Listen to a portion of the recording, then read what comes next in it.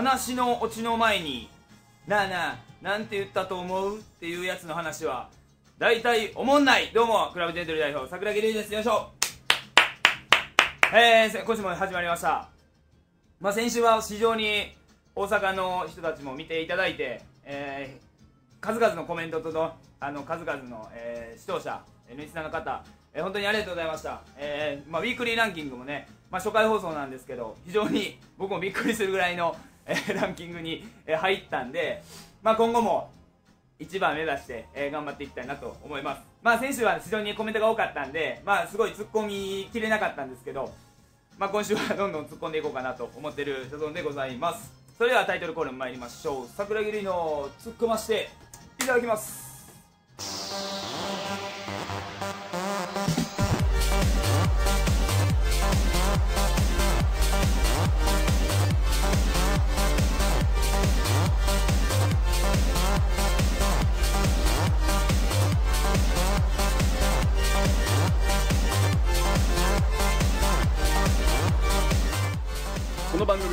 ご覧のスポンサーの提供でお送りします。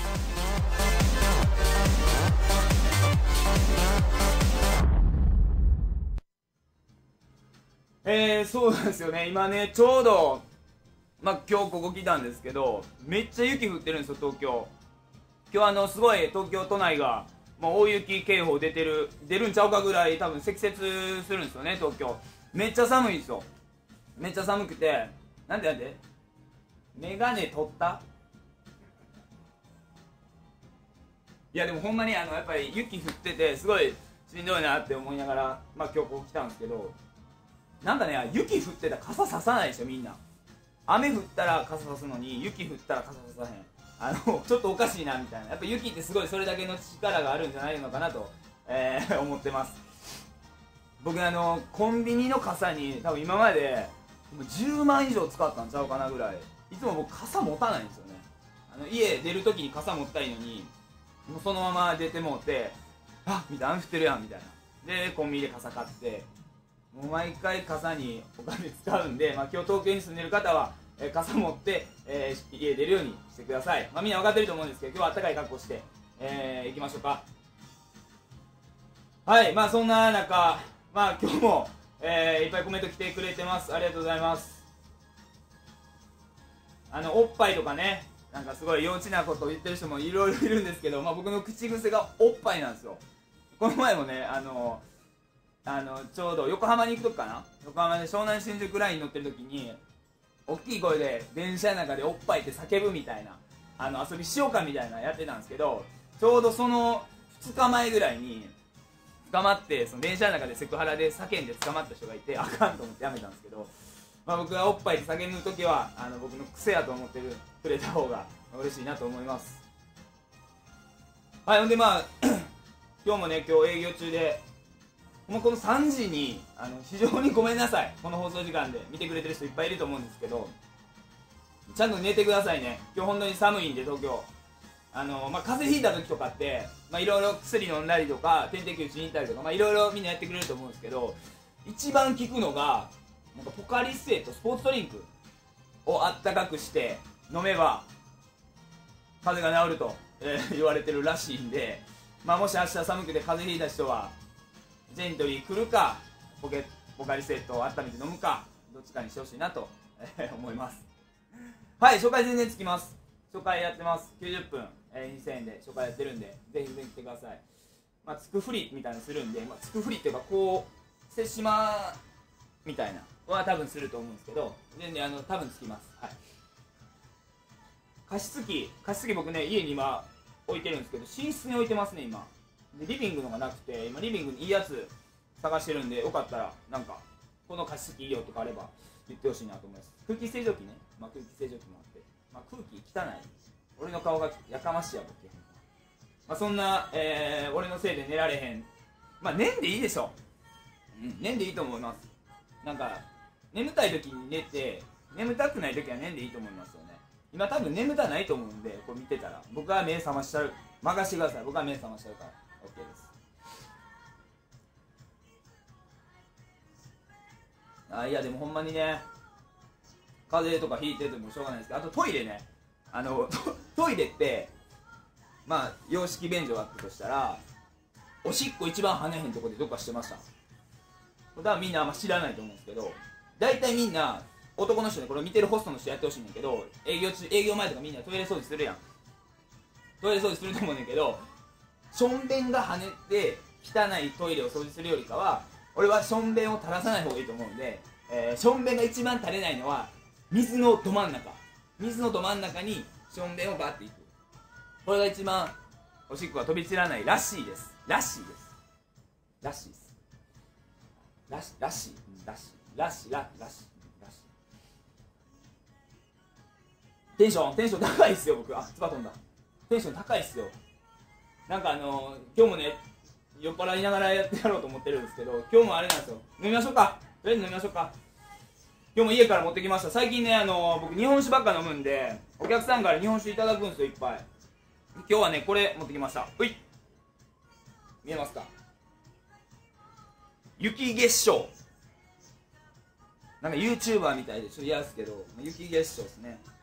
伊沢温泉の雪結晶すごいなんか僕もちょっと一口飲んだんですけど美味しかったんであの家にね今ルイ13世とリシャールと日本酒3本ぐらい並んでるんですよ。もうバランスバランスみたいな感じなんですけど。まあでもこれも美味しいんで。ほらめっちゃ白いでしょ。めちゃくちゃ美味しいんですよ。飲まんかい飲まんかい飲まんかい飲むかい。飲むわ。合うか。いただきます。今日もあの日本に乾杯あうまい。たまらんな。やっぱこの時間に飲むお酒って。そしてねやっぱりあの、まあ、バレンタイン始まると思うんで、まあ、バレンタイン皆さん僕はもうここではっきり言います。あの今年は逆チョコは一切しないから。逆チョコはもう一切しない。もうあのねやれ逆チョコやれ友チョコなんかもういろんなチョコ多すぎてもうバレンタインの本質を失いかけてるこの日本に俺は鋭いメス入れたいんですけどそもそも女の子が男の子にねチョコをあげて男の子が嬉しいありがとうって言ってホワイトデーにチョコを女の子に返したりとか何かを返したりっていうのが基本じゃないですか。それを僕たちが男が女の子にあげてそしてホワイトデーにもあげて女の子得しすぎ。あの今年はねあのもうまあいろいろ恥ずかしいとかあの義理チョコとかいっぱいあると思うけどもうどうぞどうぞいっぱいあげてください。まあそもそもバレンタインデーなんてね、まあ、やってんのも、まあ、我が日本だけだと思うんですけどまあいろいろそんな感じで少子化も減っていったらいいかなと思いますよね、そうなんですよね。今時のホスト酒飲まへんまあネオホストかこの昨今やっぱ言われてると思うんですけど酒飲まないとね喋れないんで僕は酒飲むんですけど酒飲んで飲まんくても喋れんのやったら全然僕も飲まないですね。でもいいと思いますよ。あのリンゴジュースとかであのやっても。ただそうなんですよね。あの諭吉の入れる約束チョコの中にそれめっちゃありがたいですよね。ただこう食べてなんかうわうわ板チョコやみたいな。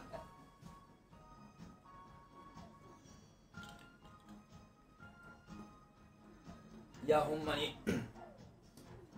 もう最近ね僕本当にずっとこう家で YouTube ばっか見てるんで本当 YouTube でネタを拾ったりとかで喋ったりとかしてるんですけどほんまに動画ってやっぱすごいなって思いますね。こうやってあの配信してたりとかすると思うんだけどもう動画がどんどんなんか大きくなってそれがなんかメディアでいろいろねバーって広がっていったりとかしてると思うんですけど、まあ、やっぱこういう時にあの声を大にして、まあ、言いたいことを言えるのはかっこいいなと思いますよね、まあ、すごい YouTube で活躍されてる人とかも、まあ、やっぱすごい気使ったりとかあのやっぱ閲覧者が増えたら増えるほどあの、ね、気使って言ったらあかんことも言われへんと思うんだけど今僕は、まあ、初めてばっかなんでもう言いたいこと言いまくったろうかなと思ってるんでね。あのどんどんブラックジョークは禁止ですけどあの来てほしいなと思います。そうすけ風邪ひいてんの？太ってんのに風邪ひくんや。へえ。慎吾西成さん知ってます？はい。慎吾さんは僕の先輩に当たるんですかね地元の。すごい地元ではあの有名な人です、まあ、その新間宮駅っていうのがあるんですけど大阪に、まあ、そこに慎吾西成三条みたいな。バーってスプレーで絶対あかんねんけど書いてあるんですよサインで。でずっと消されないんですよ何年も。その下に僕の桜木シールが貼ってるっていうのに気づいてる人は何人いるんかなってすごい思います、はい、スーパー玉で。スーパー玉でこっちないんですよね東京。大阪だけなんですよね。あるんかな？分からんけど。もしあれば教えてほしいです。行かないですけど。そうなんですよね。でまあ今日錦織君ね。すごい頑張りましたよね錦織君錦織圭君テニスのね。でも負けちゃいましたよね。でもなんか負けてもちょっとこう美化されてるじゃないですか。まあ負けてもまあすごいね錦織君とか。でも一番目指してほしいなってめっちゃ思います。どうせ取るなら一番。まあそれ今日僕ミーティングで言ったんですけど、まあ、錦織君みたいにまあ準決勝準々決勝で負けても称えられるようなまあ、人間で満足してはいけないなと、まあ、あの人もねすごい頑張って上目指せると思うんですけど、まあ、そこで一番目指されへんのは、まあ、ちょっとあれやなって思ったりとかしますよね。あショツさんそうなんですね。知らんかったです。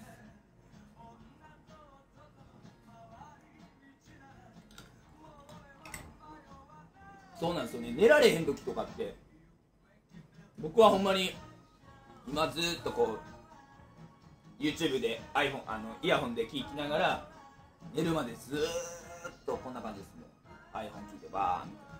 で結局寝れないままそれを邪魔やから外して寝るみたいな。これなんなんみたいなありますね。そうなんです大阪でね僕あのシール作ってるんですけどまあねあの知らない人もいると思うんですけどねシールがあるんですよ。このねこれ。そうなんですよ。これのシールがあるんですけどまあ大阪のタクシーはね多分ね500台ぐらい貼ったんですよ多分。ほんまに。500か1000台ぐらい。でまだそれの生き残りが個人タクシーでいるらしいんですごいここまでどんだけ行くんかなと思いますね。それまあ見た人とか写メ撮って送ってくれたりするんですけどたまにアホがこう剥がすんですよね。でたまにこう桜の上の部分剥がれてたりとか R の部分くり抜かれてたりとか、まあ、それはそれでおもろいんですけどまあ所詮2番戦時に過ぎないのかなとまあ悔しいかなって思いますよね、そうですね今日僕高校生みたいですねほんまに。なんか最近服装がちょ傾向変わってきててあのまあみんなおしゃれさん多いと思うんですけど周りも。僕もなんか非常にセーターとか本当にパーカーとかもうラフな格好で出勤してます。ただ寝る前はあのちゃんとナポレオンジャケット羽織ってます。はいパジャマは、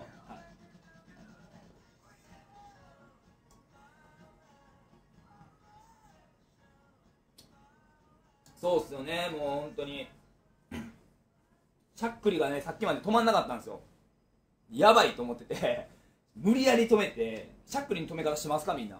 まあ息止めるとか驚かされるとかいろいろあると思うんですけど一番科学的に証明されてるのって人差し指を右耳に入れてずっと30秒ぐらい待つんですよ。そしたらしゃっくり止まるんですよ。これ一番科学的に証明されてるんでよくよかったらやってください。お願いします。はいパジャマにジャケットパジャマにジャケット下は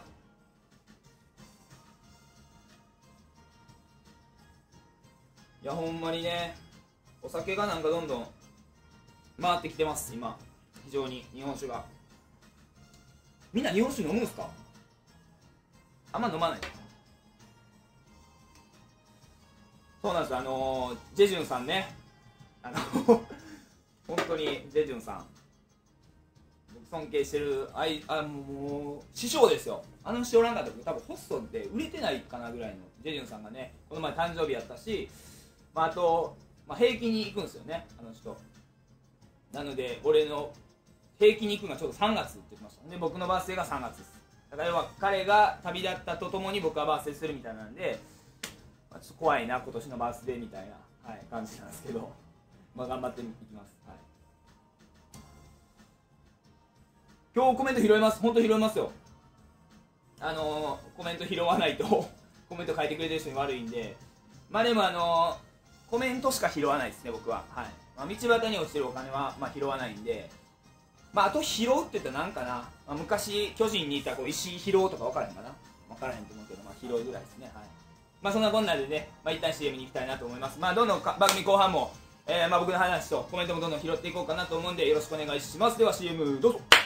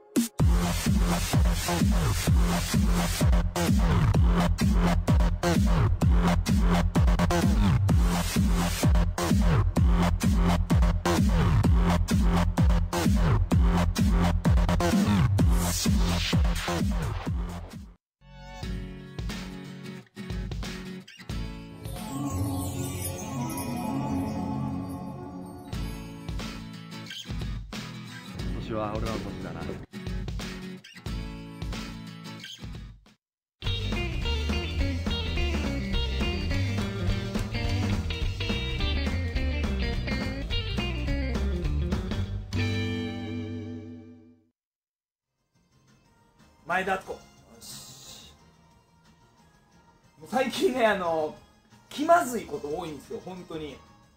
皆さんないっすか？気まずい時って。僕あのエレベーターとかめっちゃ苦手なんですよ。無音空間に弱いっていうかエレベーターの中でシーンとしてるとこで何しようかなみたいな。ででも携帯触ったらちょっとこううわこいつそわそわした怠けやなって思われても嫌やしとか思いながら、まあ、堂々としてるんですけど、まあ、の空間めっちゃ嫌なんですよね、まあ、あとお葬式ね。僕あの中学校の頃にあのおじいちゃん亡くなったんですよ。でおじいちゃんが、まあ、亡くなってまあお通夜やると次の日に。でその次の日のお通夜にあの7時からやったんですけど僕塾通ってて塾が7時までやったんですよ。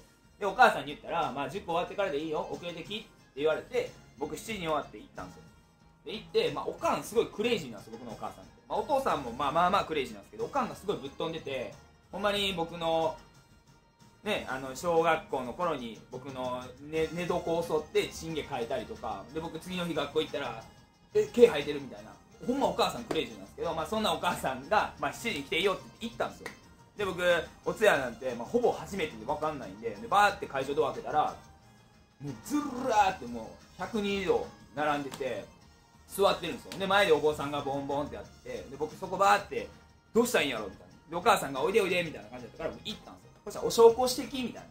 でお焼香しなあかんって思ってバーって歩いてたんですよ。でめっちゃしーみたいな。お焼香せなと思ってパーってやってたらパッて上見たらおじいちゃんの家がもう変顔なんですよ。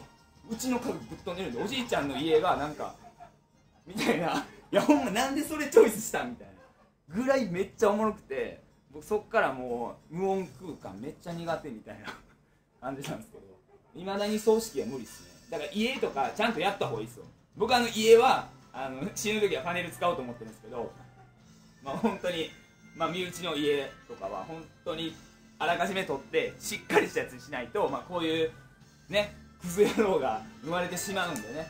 はい。無音空間が苦手になっちゃったりすると思うんで。はいぜひお願いします。そう笑ったらあかん時笑ってしまうんですよね。テスト中とか。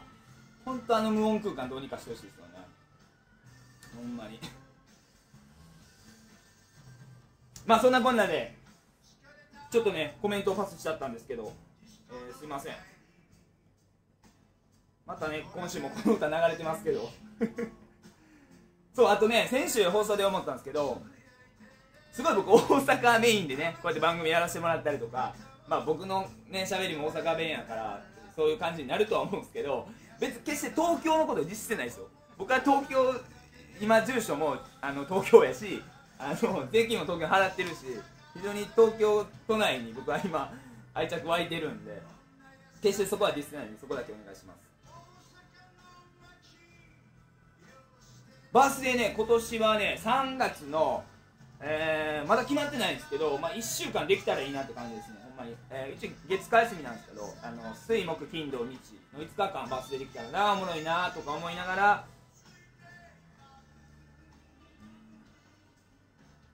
です。僕は雨は買わせるんですけど雪は溶かせないです。はい。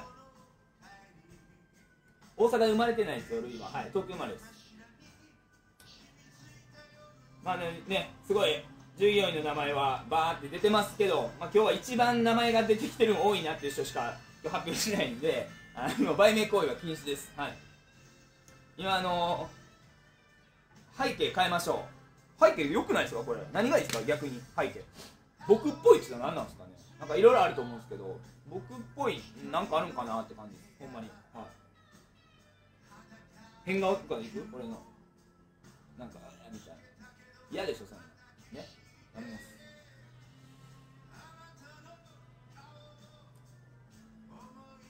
あとね本当に。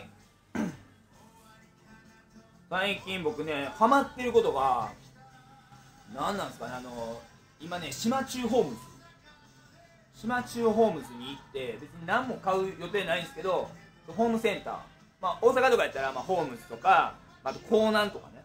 あとまあニトリとかまあいろいろあると思うんだけどこっちってあんまりドン・キホーテで買い物したりとか意外とないんですよ地方行かないと。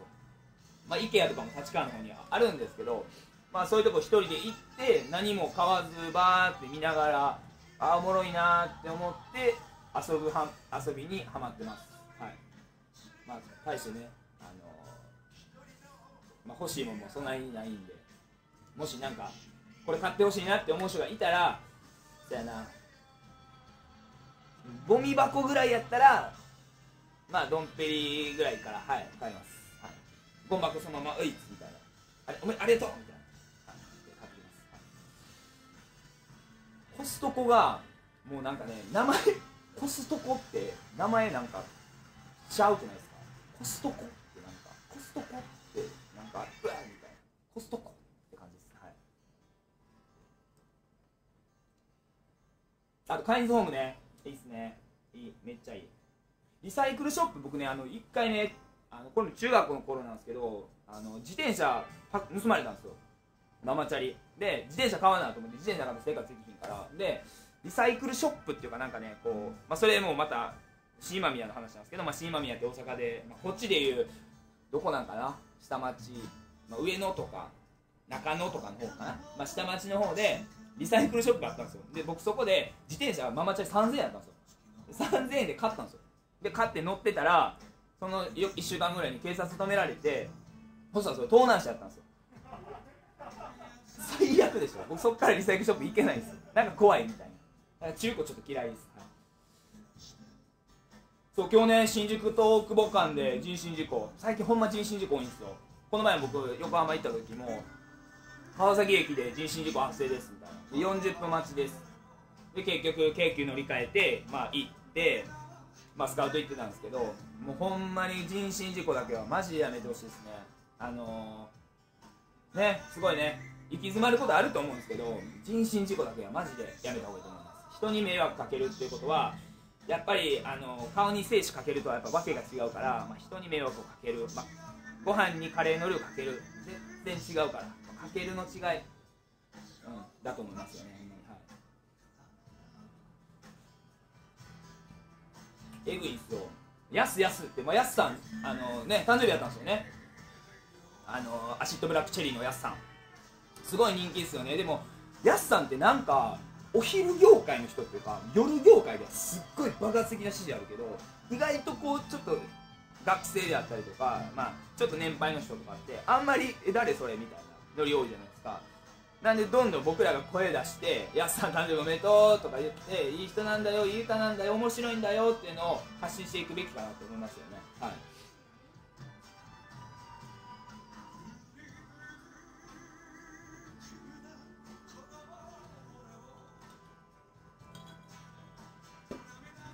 あと最近ね僕ちょっと本当に東京来て太っちゃったんですよ。なんでちょっと今ジム行ってるんですけど何せもう落ちないんですよねお酒で。でそれでなんでこんな体重増えんねんなと思ったらあの原因はこれみたいです。これが非常に太るらしいんでちょっと抑えていこうかなと思います。僕日本酒太るってあんま知らんかったんであのーね毎日飲んでますけどビールとかで抑えてそしてカロリー持っていくみたいな方向にしていこうかなと思います。まあ、日本酒もちょっと制限せんとマジちょっと危ないですよね。うん。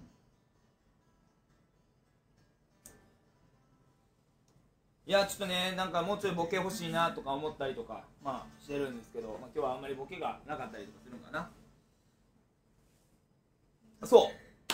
普段から腹筋にうってやっとったらいいらしいけどしんどくない？これでずっと生きるみたいななんかこんな感じになるやん。もう歩き方とかそれで心機ついて「どうも」みたいな。めっちゃ腹筋あいつ力入れてるやん。なんか腹筋割ろうと頑張ってるやん新規やのに。仕事中やのに。って思われるのも嫌やからもうバーって。俺パーって。パーって。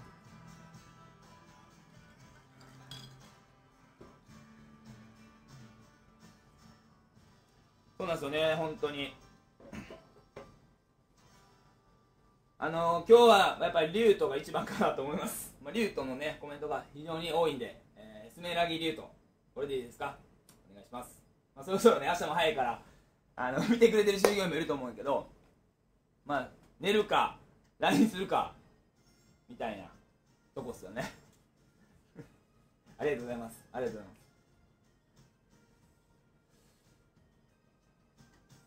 あと僕も習い事で、まあ、サッカーずっとやってたんですけど僕水泳もやってたんですよ。水泳も。でまあ水泳もこうねいろいろ泳げない人もいっぱいいると思うんですけど僕めっちゃ泳げるんですよね水泳で。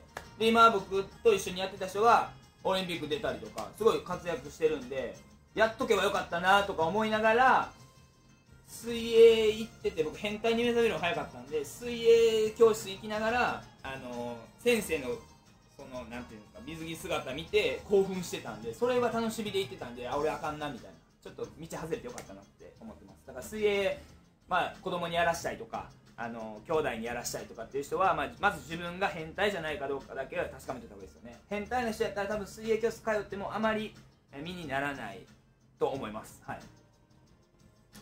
はいもう本当に東京来てください。はいもうすごい頑張ってるんで。あのーまあ大阪からね新大阪2時間半かな。で東京駅から新宿まで15分。新宿駅から東京とか東京デンデリまでは15分ぐらい、まあ、約3時間。新大阪からねで来れるんで、えー全然来てください本当に。まあ、あとねめっちゃおもろい話あんね俺。やばい思い出したわ。やばいめっちゃおもろい。もう やばいめっちゃおもろいわ。どうしよう。やばい言いたい。言いたいどうしようかな。聞く？聞きたい。聞きたいよなやっぱり。聞きたいよな。わかるよ。あのね僕この前ね この前ねほんまにめっちゃおもろかったんですよ。ローソン行ってファミファミチキファミチキファミリーマートやちゃうちゃうちゃう。ローソンねめっちゃもうめっちゃめっちゃ行くんですよローソン。あの歌舞伎町の。でそっち行ってそっからファイマン行くんですよ。ファイマン行くんですけどそっからローソン。また来週も見てください。ありがとうございます。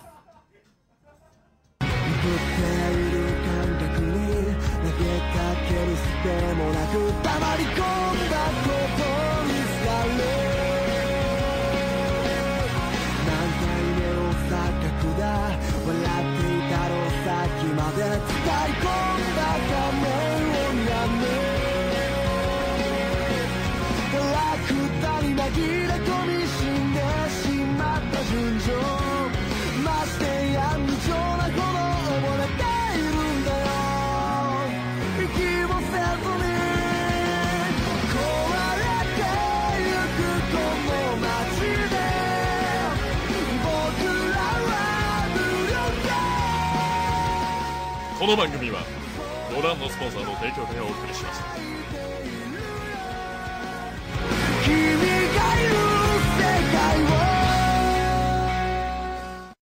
Hey yo, everybody! この動画は夜遊びを楽しくする目的で作られております。ホストクラブのお店探しならナイツチュー総勢約1000人以上のホストたちとリアルタイムにネットで体感できる。